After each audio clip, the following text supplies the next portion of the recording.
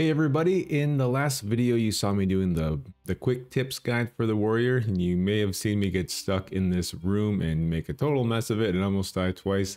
Well, here we are going to continue that run and we're going to play until we get ourselves an end game build. So I find that most deaths happen between the sewers, prisons, caves area when you're trying to transition from those early game weapons into something stronger to help you survive. And if you're like me, you're hoarding all your upgrade scroll scrolls and all your potions and everything and you just try to make it to the end. Well, let's see if we can get there. But I feel like if you can master this process of getting your early game to your middle game and just surviving until you can finally find that one item to go all in on, whether it's like armor, a weapon, like a good utility ring or even a wand, I feel like we can convert most of our games into wins. Like, oh, pretty high percentage, I feel. So this video will be cut up into smaller pieces where I'm making big decisions and getting stuck and figuring out like what are some pinnacle moments I have to do you're looking for a long form playthrough, I have full runs of the warrior and other classes where I sit there and debate every little decision decision I make and I like excruciate over every little click like, oh, should I move here? What's it gonna do? Or what items do I need, etc. That those videos have a lot more tips too about identifying potions and scrolls and stuff like that. All right, so let's get to it. Moving on to floor four here. I'm thinking we need some armor. I'll see when these identify. We may be pretty good on weapons for a bit. So when I came down to this floor, there was a little text here. It said this floor contains many secrets, which means there are two secret rooms, I believe, rather than normal, the chance of just having one. I've noticed when I come through and search everything, I often find a secret room like in the middle. So if you explore the whole area and you find some like blank space still here in the middle, search kind of those walls for doors. I'm also going to search around the outside for doors as well. And you may have noticed I've got my bassy morning voice on. Haha. I love me some Pixel Dungeon in the morning. Hey Ghost, you're floor 4, that means it's the crab. Let's fight some more stuff first. Oh, I found the secret door. It was right here. Here's one. Also, this plus one cloth armor is doing pretty good. I just got ambushed by a um, a crab as well as a slime, and I was able to actually just sit there and tank them. I was thinking maybe should I run back to a door and fight one at a time, but you know the crab's gonna hit you every hit, so I just thought I'll just stand and fight. It turned out good. Well, let's see what's in here. Mmm, bland fruit and some meat. Yum. Oh, we found the second secret door. It was right here in that same middle room. So what is this? Oh, maybe it's not that secret. Maybe it's just a, an extra pathway. Okay. So hot tip for the crab is to do the ring around the rosy just like you would with goo or anything. I'm pretty sure it works Unless it comes, it might come straight at me now. Okay, yeah, nice. Because, you know, the crab moves kind of slow. So we go here. Yeah, it keeps working. Are you going to move? Okay, great. Sometimes if you move too fast like that, they'll cut through the grass and they'll smash it. All right, we got you. Come on, ghost. Give me something good one time, please. Oh, ghost, come on. Okie dokie. Well, I don't think we need the weapon, and this could be good, so let's see what we get here for the armor. Come on, plus one one time. Uh, plus zero. Okay. Is what it is. So I'm getting into tier two talent points here. You know, I often like putting two into this right away because then I just feel like I can use the those uh those glyphs. Oh, what that what is that thing called? Oh, there's one right on the ground. Arcane Stylus. But yeah, I like to use this often too right in it and I can use the arcane stylus and not just have them sit in my inventory forever and do nothing. You can put them on your lower armor and then when you want to switch your armor, you can bring it the uh, the glyph on over with you. So my inventory is getting kind of full, so I'm actually going to go down here to floor 5 and just like start chucking some stuff on the ground. Like the bland fruit.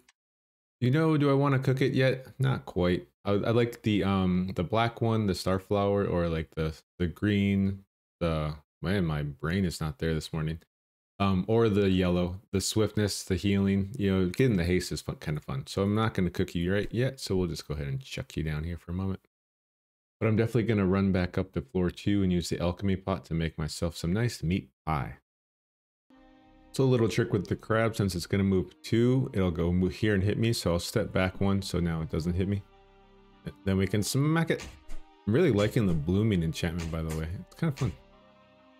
You know, I would never say put a scroll of upgrade on a cloth armor, but I'm feeling like ridiculously strong. I've just been like smacking things with like no regard and just not even caring. So I just put two points into runic transference. So let's go ahead and use this arcane stylus. Maybe we'll get something good. What do we get? Obfuscation, making us harder to see. Okay, it could be good. You know, it's probably not just the cloth armor plus one. It's also probably because we're like level seven, level eight now. So our evasion and everything's going up because I spent so much time in that poison room and killed a bunch of stuff. Well, we've reached an interesting encounter here, haven't we? Look at you. A blocking scimitar, which is a 14 strength weapon, and leather armor of viscosity. I don't have leather yet. Leather could be nice. And I could wear it right away. Um, maybe we give it a shot. One sec. Let's plan. What would we do? We would probably want to hit it with rocks. And I mean, we could ring around the Rosie this pillar, and that would give us uh, good chances of hitting. We have full health. We have a healing potion. I mean, I don't think we're going to get much stronger. So we just go like rock. Just going to step here, rock. Yeah. Let's give it a shot. And, you know, chances of getting ambushed kind of low. We've killed most things. Okay, let's try it. A rock and a rock. And they both did zero damage. so we'll get a surprise hit here for zero. Uh-oh. I hope we have high enough weapon. Okay, so it's going to be taking deferred damage from the viscosity. So maybe we like get... Oh no, this is not looking good. The blocking scimitar is just like too strong or what? Deferred one.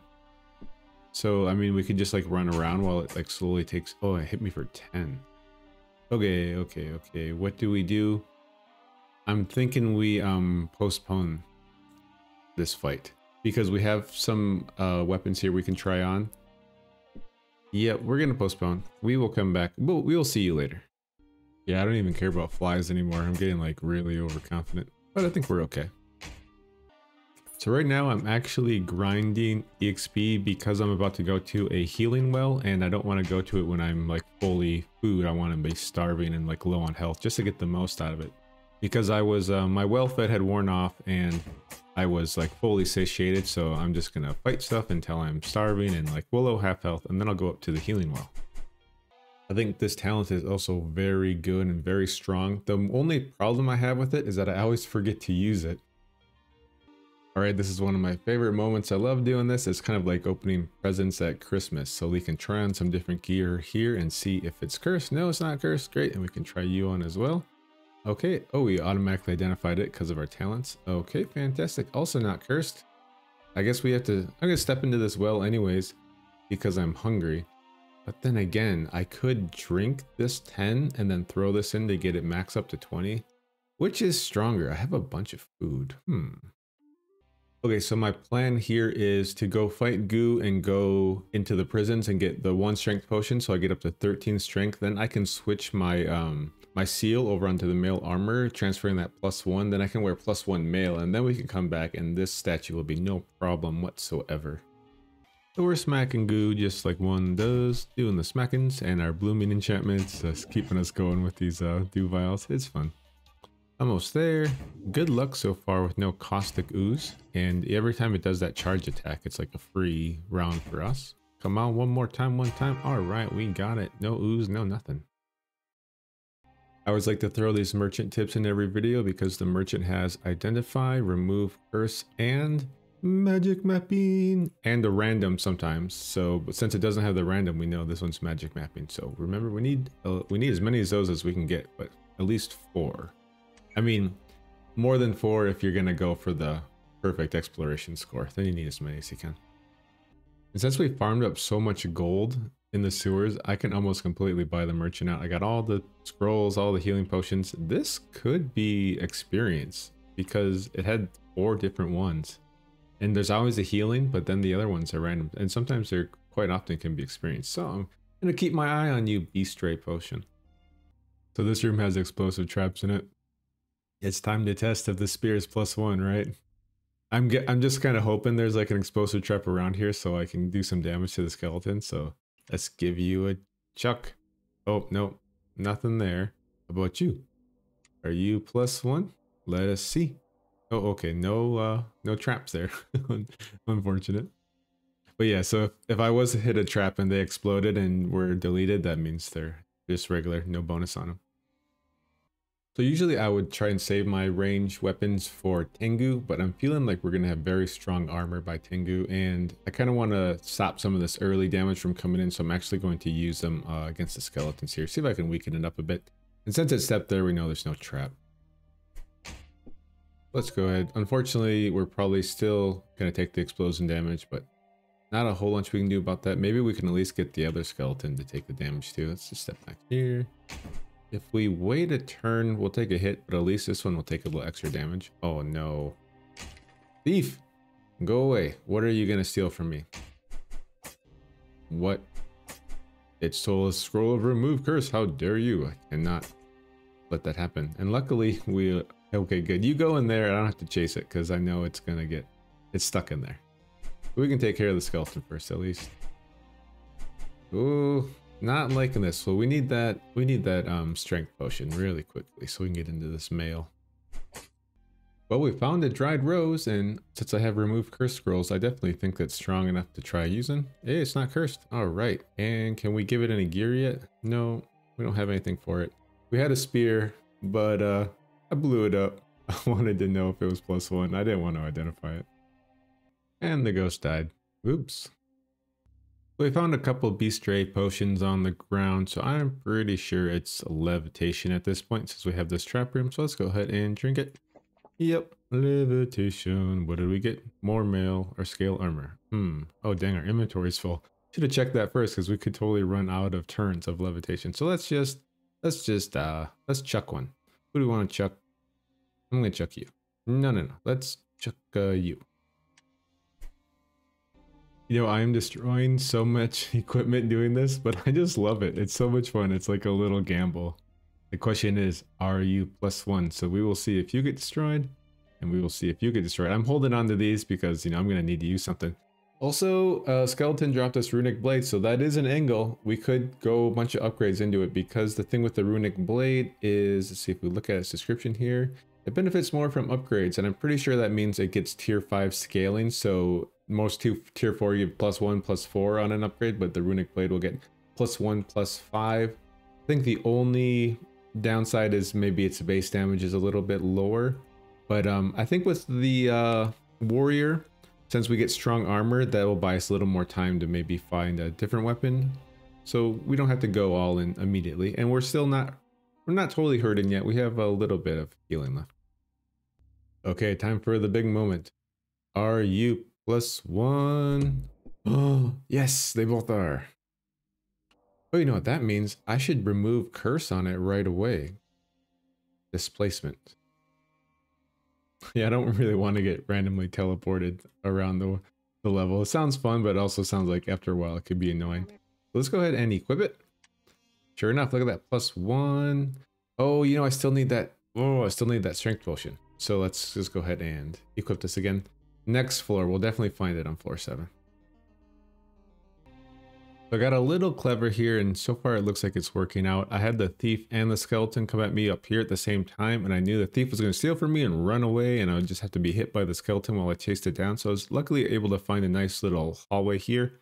So now the thief has nowhere to run and the skeleton will sit there and block it. So I don't have to sit here and take free hits from the skeleton. So I haven't gotten my upgrades or anything yet. I'm still on my sewers gear and I just encountered my first sewer guard or prison guard who's coming after me. So I just I have to do something. I, so what I'm going to do actually is tip these darts here with some sorrowmoss. It's the only thing I have. But if I can get some poison rolling on it, I think that'll help quite a bit. So I'll just wait right here because um, it's only a few steps away. Yeah, there it is. So let's see if we can get it poisoned. Oh, what happened? I hit the wall. Oh, man. I thought I could cut that corner.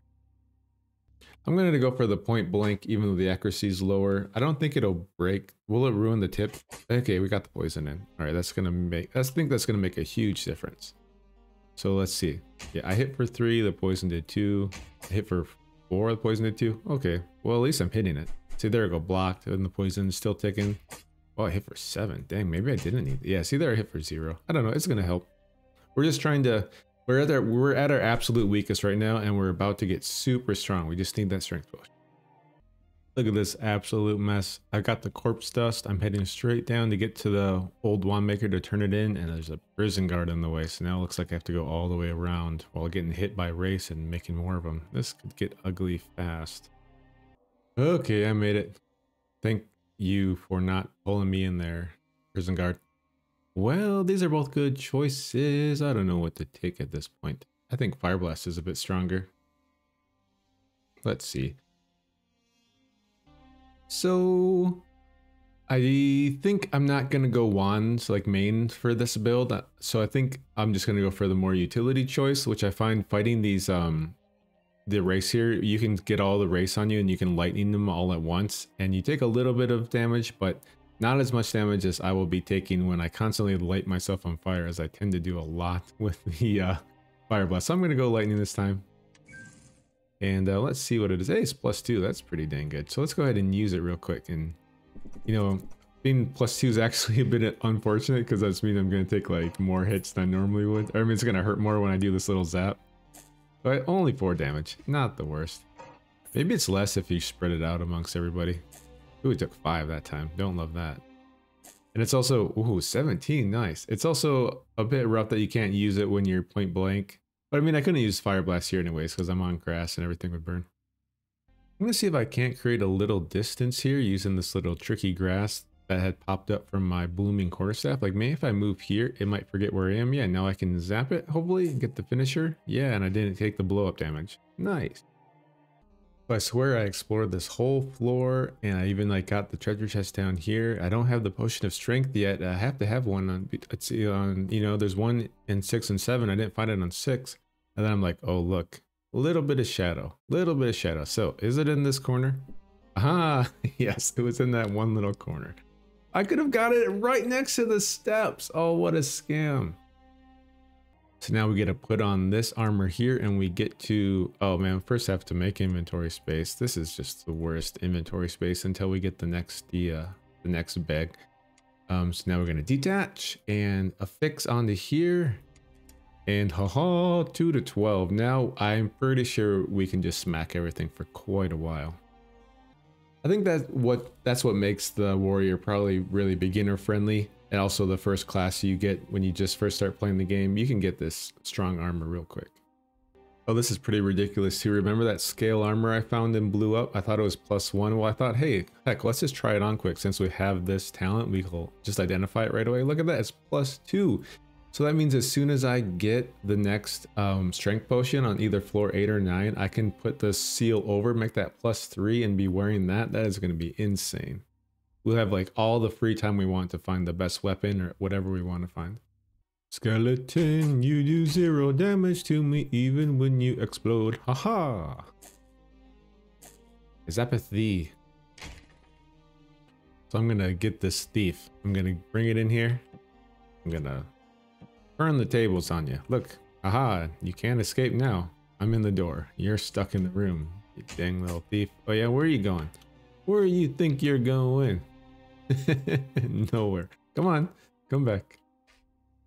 Is, is it gonna try and sneak around and get through this door? No, come on, thief. I don't want to use this uh, charge on you. Okay, good. There we go. Dang thieves. So this is the perfect time to use this talent where we can blind the creature. So we will just, we have to throw something that's not a ranged weapon, a thrown weapon. So we have to throw, I don't know, let's throw some meat at it. Here. You're blind. You got meat in your eye. And it's three turns, right? Because I, I went for this extra, extra point. So we can, if we look at it here, we can see it has three turns left, which lets us get up to here. And then we could probably just go here. Yeah, nice. Now we can smack it real good. Don't let you shock me.